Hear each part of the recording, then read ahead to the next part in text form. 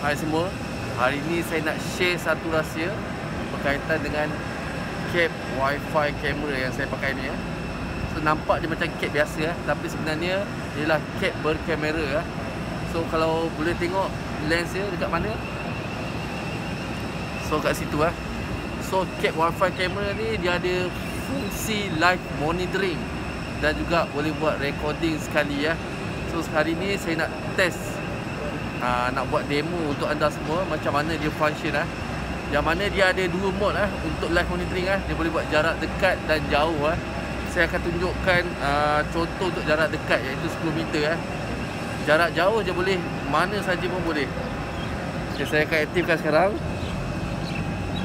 Okay, saya dah connect uh, dengan signal wifi dia sekarang ni. Saya masuk ke apps Okey, sekarang dah online. Inilah jarak dekat saya buat ah, 10 meter ah. So nampak okey, sekarang ni tengah live ah. Saya cuba besarkan ah. Yes. Tengah live recording ah. Inilah live recording ah. Yes, ah okey, saya tengah mandang arah sana ah. Live. Okey. Sekarang ni ialah dia tengah live eh. Saya cuba bergerak ke sana eh. Nanti uh, anda boleh tengok macam mana pergerakan saya eh. So yang best kit wifi kabel ni lah senang kita nak posisikan kamera dia eh. Saya mungkin boleh letakkan ke belakang macam ni. So anda boleh tengok view dia. Okay. okay, saya akan cuba berjalan ke depan eh.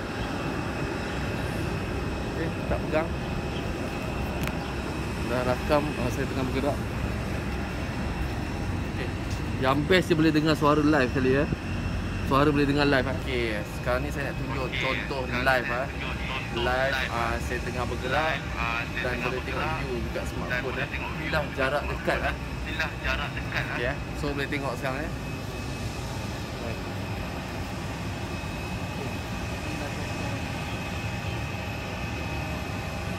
Uh, saya tengah Makai wifi kamera sambil di monitor oleh smartphone eh.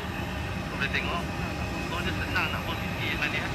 Dia boleh pilih posisi kat belakang juga ah.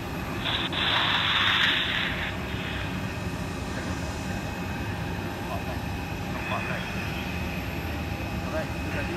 Alright, itu tadi.